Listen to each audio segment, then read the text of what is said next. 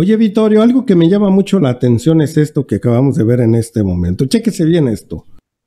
¿Cómo es posible que todavía que andas en campaña, Víctor, salga este tipo de notas que creo que de ver a la gente no entiende? El presidente de la República va a llevar hasta la Constitución que la ayuda social sembrando vida, la ayuda social, ¿sabe qué es sembrando vida?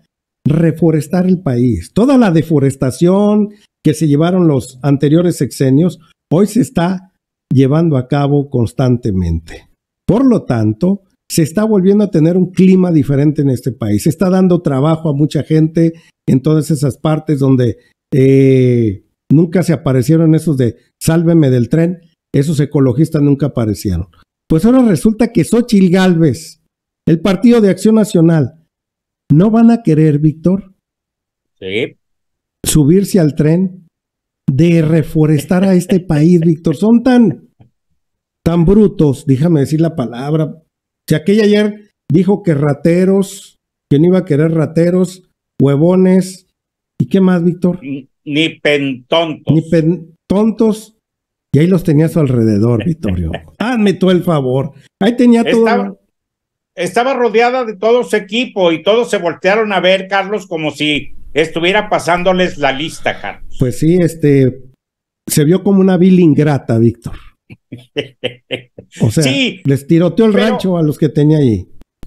Sí, sí, sí. Eh, mira, tanto con López Dóriga como con eh, como ahora que, que estuvo en el Ángel de la Independencia, creo que es necesario que los asesores, que quienes la están induciendo a todo esto, ya le pongan un alto porque eh, es muy ocurrente, es muy, muy tonta. Pero en diferentes foros sí han manifestado, tanto el Partido Acción Nacional como ella, que van a quitar todos los programas sociales implementados por el presidente de la República van a querer quitar las mañaneras, porque ellos no pueden ver las mañaneras. Y fíjate cómo han venido, sobre todo Xochitl, ha venido retomando muchas de las estrategias eh, que tuvo Andrés Manuel López para llegar a la presidencia, como eh, lo de a Andrés Manuel lo conocían como eh, el gobernador del el, el candidato de la esperanza, Morena, la esperanza de México y demás, y lo retoma ahora Xochitl Galvez de manera cínica y descarada. Y por otro lado, antes de llegar Andrés Manuel decía que él iba a llegar a abrir las puertas de los pinos para que la gente pudiera tener acceso a todo lo que había al interior. Bueno, pues ahora retoma eso mismo, es Xochitl Galvez, y dice que si ella queda de presidente, que toco madera, eh, lo primero que va a hacer es llegar a abrir las puertas de Palacio, y que lo va a sacar de ahí. Es la misma estrategia de Vicente Fox, no más que ahora con botarga y con algunos kilos de más, Carlos. Vamos a ver ahorita qué pues que dijo la diputada del PAN y ahorita vemos a Xochitl Gal, vamos a darle play señalaron que buscarán incluir en el texto constitucional el programa Sembrando Vida. Bien, pues la postura del grupo parlamentario del Partido Acción Nacional, al no tener claridad de esos buenos resultados que el presidente ha estado insistiendo y del desvío de recursos probado que han hecho y que no han podido ni aclarar ni justificar desde 2019, el grupo parlamentario del Partido Acción Nacional no acompañará esta reforma. No la va a solapar por todo lo que han estado haciendo con estos recursos millonarios. Y no vamos a permitir que este programa, que ha tenido un uso discrecional, indiscriminado y oscuro durante los tres primeros años revisados porque no hemos podido ya acceder a más números porque la Auditoría Superior de la Federación decidió, como siempre, hacerse omiso y no practicar auditorías forenses a un ente fiscalizado como lo ha hecho en otros programas, y levantar la vista de todos la aplicación de estos recursos millonarios. Porque no, además, no hemos podido comprobar fehacientemente su éxito, por lo cual, además, hemos constatado con información que nosotros hemos ido investigando que los campesinos no están siendo realmente beneficiados y los resultados del programa pues no son los que afirma el gobierno federal, lo cual también será explicado ampliamente por mi compañero Gabriel Cuadri.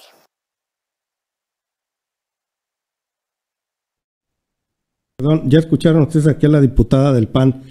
No da cifra, no da dato, no comprueba nada. Así es. Todo lo dice al aire, dice que es un desvío de recursos. ¿Dónde está la denuncia? ¿Dónde está lo que dice? Dice que eh, hay un uso discrecional y oscuro que muestre los datos. Luego se quita, se lava las manos diciendo que ya la, la auditoría no la deja entrar ahí. No, vaya al campo. Vaya a ver si de veras están sembrando Vaya a ver cómo están los campesinos, levante un censo, o sea, traiga evidencias. No hablar a lo tonto. Víctor, les va a ir como en aquella ocasión que se negaron pasar a la constitución, Víctor, la ayuda a la gente eh, de mayor edad, de más de 65, 68 y más, que era primero, no bajó a 65. Se vieron tan mal que en la Cámara de Senadores no les quedó de otra y aplaudirle, ahí estaba Xochil Gálvez, en contra de su voluntad, porque en la de diputados se pusieron en contra. Y en los senadores vieron la arrastrada que se les dio en los medios de comunicación, que el PRI no fue tonto, el PRI sí levantó la mano y dijo que sí, sabiendo que él iba a tener un costo social muy grande meterse con los adultos mayores.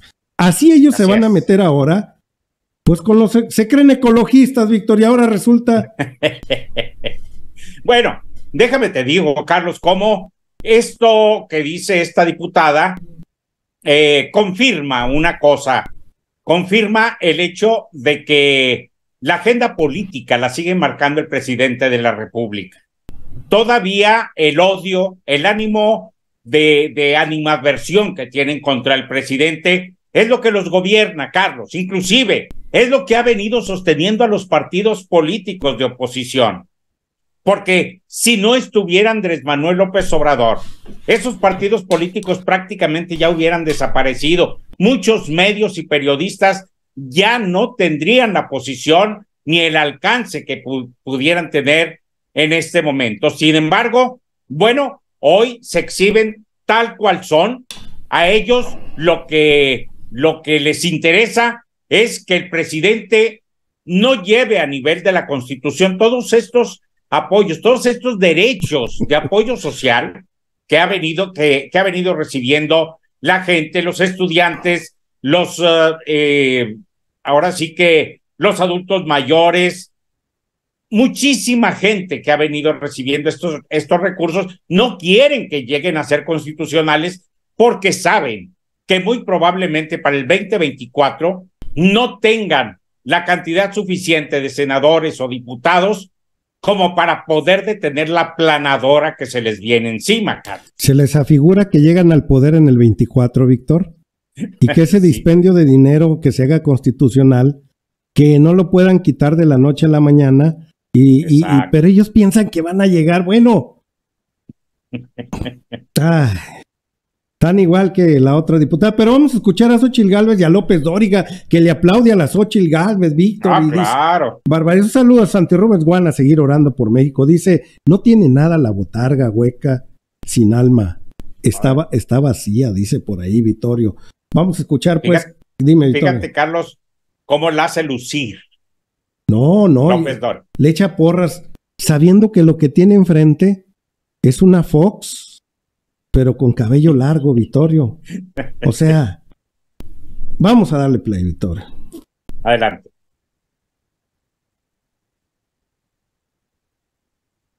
No se escucha. Va. Posible aventura y acabó en...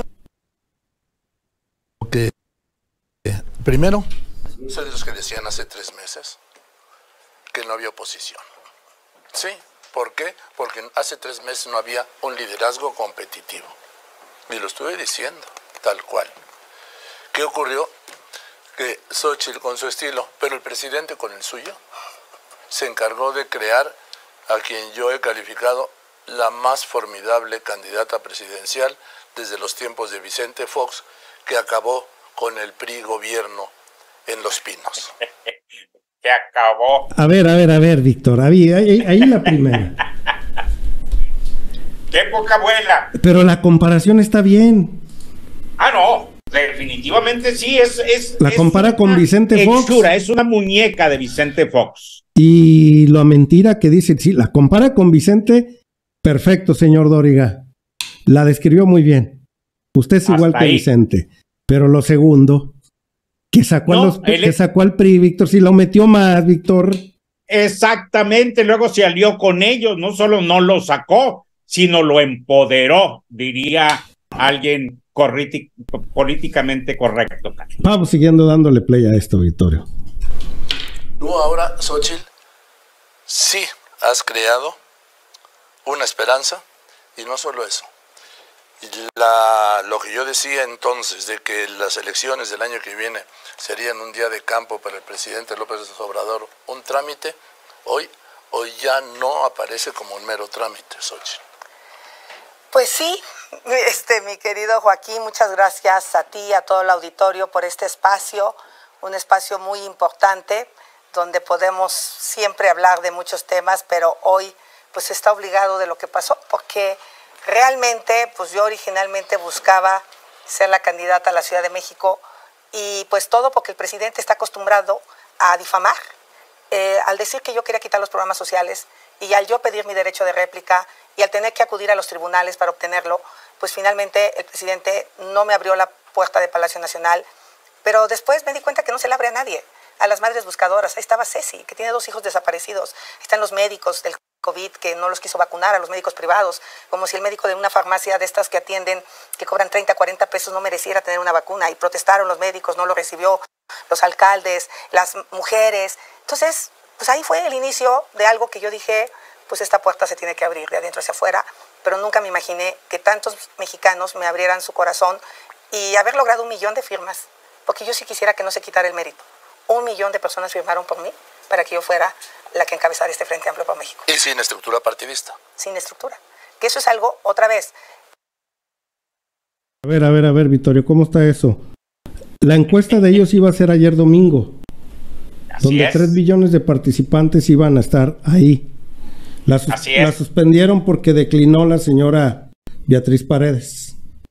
Y dice que sin estructura partidista. Sin estructura partidista. Y luego el PAN, y luego el PRI, y luego el PRD, Víctor. Claro, no tiene una, tiene tres. Carlos, tres tiene estructuras. Ahora eso que dice es. que, que a los médicos no los quiso vacunar el presidente. Digo, siguen con esa retórica tan barata y mentirosa. Digan algo que Así les es. crean. Digan algo que se pueda mejorar. No con eso. Pero mira, esto que dice aquí Vittorio, que tiene que ver con eso, y luego ya me das tu opinión. Sí.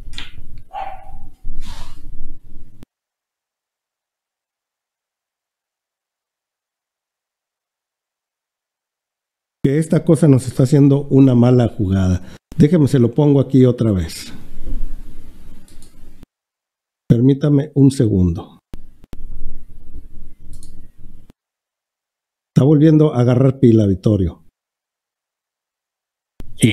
En un principio el PAN apoyaba a Santiago y eso es abierto y yo lo Sí. supe por parte de Marco Cortés, eh, el PRI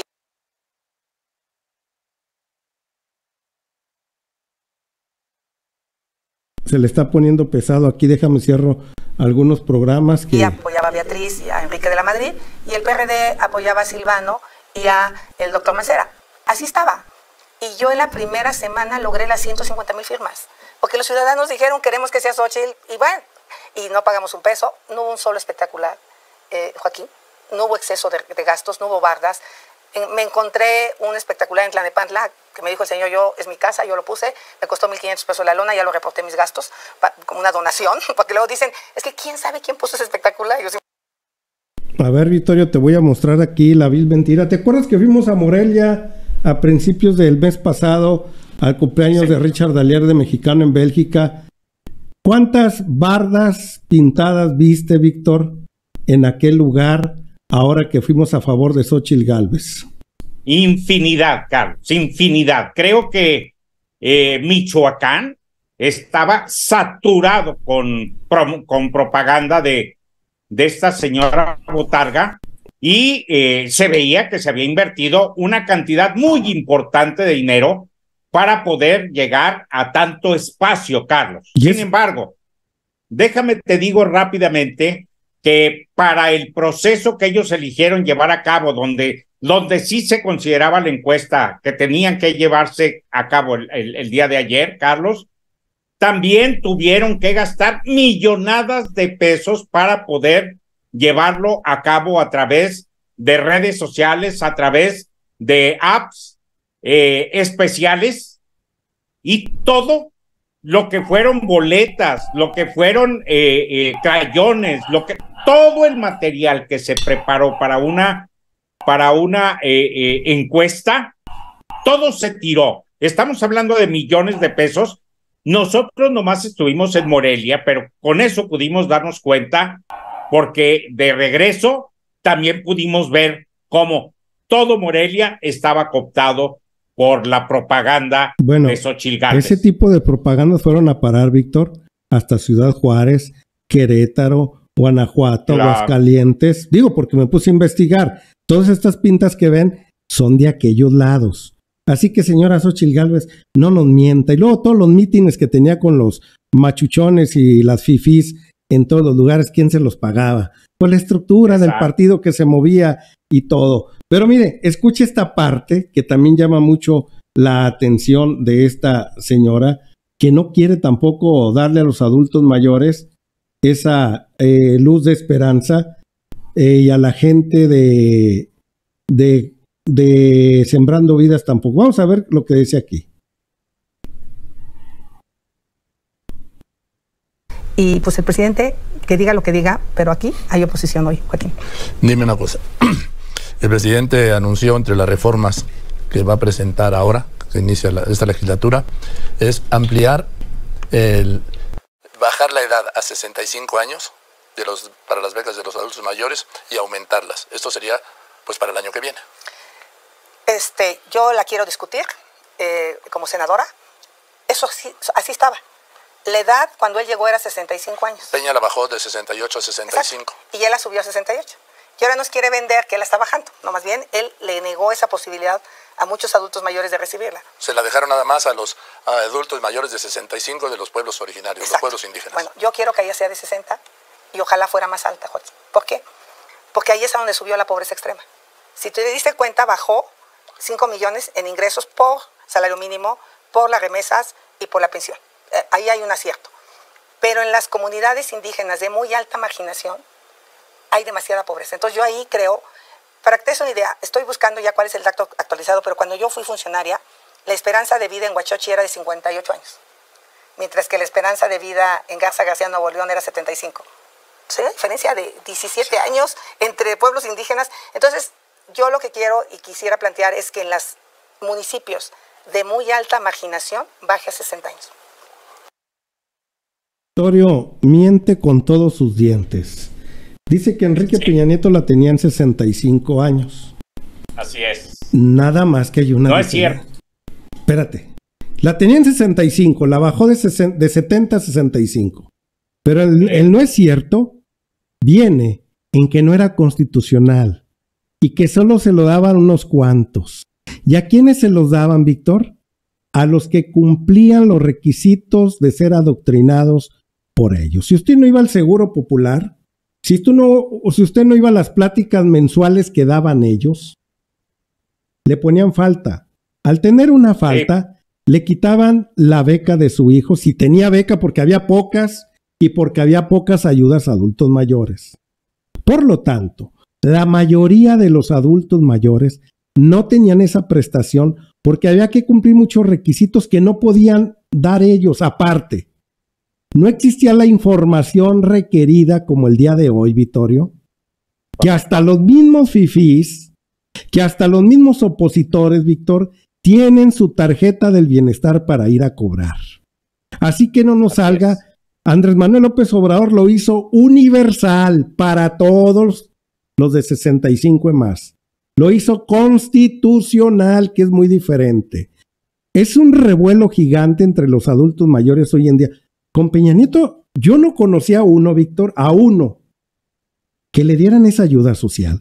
Así que, señora, no nos venga a querer mentir de esa manera. Y así quiere ser presidenta esta sinvergüenza, Vittorio, parecida a Fox. Pero se vuelve a montar en una de las estrategias fundamentales del presidente López Obrador, porque ahora le dice a López Dóriga que ella inclusive estaría dispuesta a llevarlo a los 60 años. Ya el presidente se había manifestado en una mañanera que a él le gustaría que antes de irse poder bajarlo a los 60 años. Ahora ella se monta también en esa, en esa mula y, y, empieza a querer ganar adeptos por esa, por, por esa supuesta estrategia. Pero no traen absolutamente nada nuevo. Lo que pretenden es acabar con todo lo que pudo haber hecho el presidente.